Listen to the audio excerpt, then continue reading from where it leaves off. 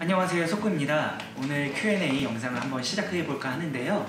이제 많은 분들이 봄과 가을 애매한 계절이라고도 할 수 있죠. 이 봄과 가을에는 어떻게 습도 관리를 하면 좋을지 문의를 많이 주시더라고요. 그래서 그 부분에 대해서 좀 안내를 해드릴까 합니다. 이제 저희도 봄과 가을쯤 되면은 좀 적당한 습도를 유지하는 계절이라고 보통 이야기를 하는 편입니다. 겨울은 되게 건조하고 여름 특히 이제 장마철은 되게 습하잖아요. 그래서 이제 저희가 되게 습도 관리를 많이 강조하는 계절이 1순위로는 겨울, 그리고 두 번째로는 장마철입니다. 그럼 이 두 기간을 제외하고 다른 데는 어떻게 하면 되냐? 그렇게 많이 물어보시는데요. 습도 관리라는 게 참 까다롭다고 느껴질 수 있는 부분이 이제 거주하시는 곳에 따라서 습도 환경이 굉장히 많이 다르더라고요. 어떤 분들은 아무것도 안 해도 적정 습도를 유지하는 그런 공간이 있는 반면 어떻게 해도 습도가 올라가지도 않거나 떨어지지도 않는 그런 곳에서 거주하시는 경우도 있습니다. 이런 분들이 가장 좀 기타를 쓰시기가 어려우실 것 같아요.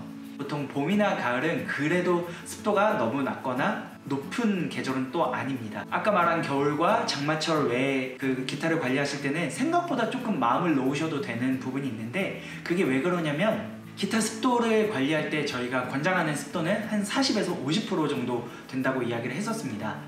그런데 이렇게 생각하시면 편할 것 같아요. 이 정도의 습도에서 멀어지면 멀어질수록 문제가 빨리 나타납니다.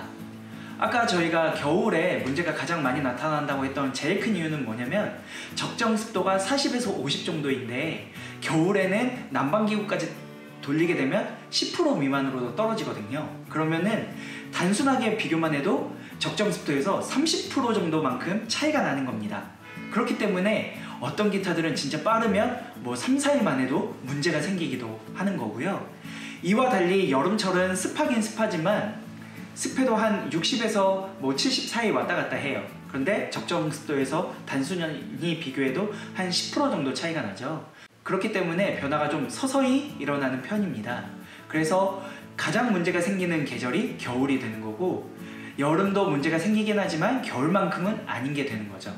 봄과 가을은 그것보다 조금 더 어, 적정한 수준을 유지하다 보니까 상대적으로 더 오랜 시간 방치가 되었을 때 문제가 나타나는 거고요. 이런 점들을 기억해 주시고 습도 관리를 하시면 좋을 것 같은데 그래서 첫 번째로는 습도계를 꼭 구비하셨으면 좋겠습니다. 습도계를 통해 기타가 있는 공간의 습도가 어느 정도인지 파악하는 게 중요하고요.